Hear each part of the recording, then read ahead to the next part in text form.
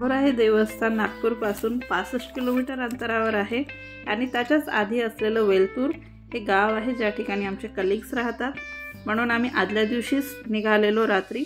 आणि त्यांच्याकडे one night एक स्टे केलेला की जेणेकरून सकाळी उठून आम्हाला लवकर जाता येईल आणि बघता येईल की जवळपास आणखी काय आहे जे बघण्यासारखं आहे. रात्री सगळ्यांनी एन्जॉय केलं छान बोनफायर आणि दुसऱ्या दिवशी आम्ही अशा प्रकारे तयार झालो नाश्ता करून.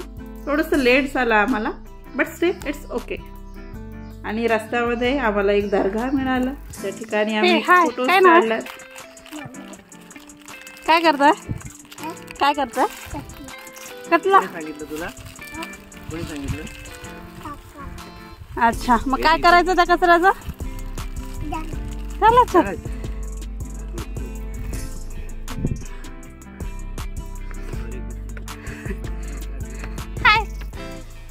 गुड मॉर्निंग ते थोडेसे आम्ही रील्स केले व्हिडिओज काढले फोटोज काढले आणि बघत आहोत की आम्हाला ज्या कोलसूर आहे कोलासूर हिल्सवर तिथे जायचं आहे ते तिथून किती दूर दिसतं? आणि काय काय कोणत्या कोणत्या आणखी त्या ठिकाणी पहाड्या आहेत जिथे आम्ही जाऊ शकतो?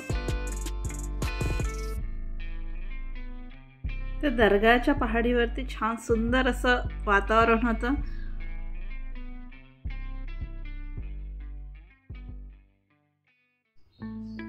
हा पहाडीचा रस्ता आणि दोन्ही बाजूला तलाव. त्या ठिकाणी असलेला ब्रिज आणि तिथे पक्षी गाड्यांच्या आवाजाने बाहेर यायचे. गाडी गेली ते सुद्धा परत आपल्या घरट्यात वापस जायचे. तिथे एक ब्रिज बनत आहे जो की नदीवरती आहे आणि या पोल्सवरती वर हॉटेल बनणार आहे. काही अंतरावर गाडी पार्क केल्यानंतर पायवाट आहे. मस्त एन्जॉय करा. छान निसर्गाचा आनंद घेत आपण एकदाच पोहोचलेलो आहोत.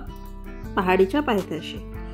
नाव आहे अखिल गोंडवाना कोया पुणे पेंडाना पुणे मीन्स जसं जेवढं मी गुगल सर्च केलं त्यामध्ये येतं आहे की सत्याच्या मार्गावरती जाणारा एक धर्म ज्याप्रमाणे तुम्ही रस्ता बघता अगदी खडतळ दगड असलेला. आणि खूप क्लिअर अशी पायवाट नाही आहे.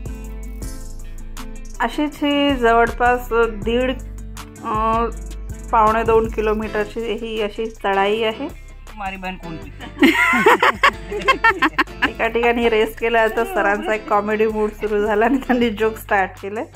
अगेन जर्नी स्टार्ट थोड्याशा अंतरावर गेल्यानंतर हे असं काही दृश्य होतं. या बाजूने पाच नद्याच्या संगममधल्या तीन नद्या या साईडने दिसतात. कनान वैनगंगा आणि मुर्छा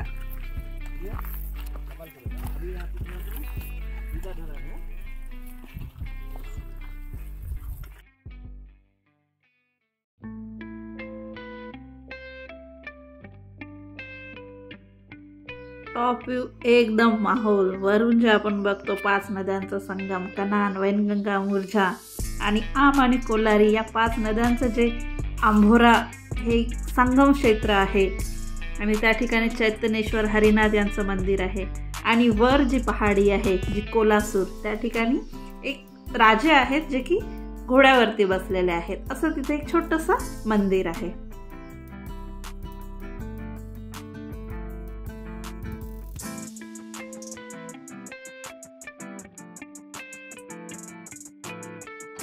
एकंदरीत वरून हे सगळं अशा प्रकारे दिसतं. हे थकलेले भागलेले अगदी.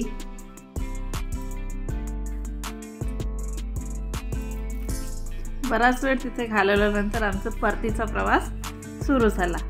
खाली उतरताना ते जास्त स्लोप आहे चढताना इझी जातं. बट उतरताना जरा केअरफुली जर पावसाळ्यात वगैरे जात असाल तर दगडांमुळे तिथे जास्त जागा जी आहे ती स्लिपरी होते ते. भरपूर लोकांना पण नाही नाही आहे लोकांना अशा प्रकारे आमची ही ट्रेकिंग सक्सेसफुली कंप्लीट झाली आणि थँक्यू सो मच सर आणि तो जो ब्रिज बघत आहे जो बर्डचा आहे आणि आमचा नागपूरचा परतीचा प्रवास सुरू झाला. कधी नागपूर आला तर आंभोरा व कोल्हासूर हिल्सला नक्की भेट द्या.